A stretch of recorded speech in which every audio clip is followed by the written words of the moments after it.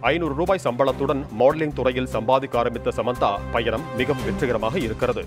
சினிமாவை தாண்டி சொந்தமாக நிறைய தொழில்களையும் கவனித்து வரும் சமந்தா கடந்த சில வருடங்களாக மயோசிட்டஸ் நோயால் பாதிக்கப்பட்டு வருகிறார். இதனால் வெளிநாட்டில் சிகிச்சை பெறும் சமந்தா அவ்வப்போது ஆன்மீக சுற்றுலாவும் மேற்கொள்கிறார். இந்த நிலையில் நடிகை சமந்தாவின் கியூட்டான வீடியோ ஒன்று வைரலாகி வருகிறது.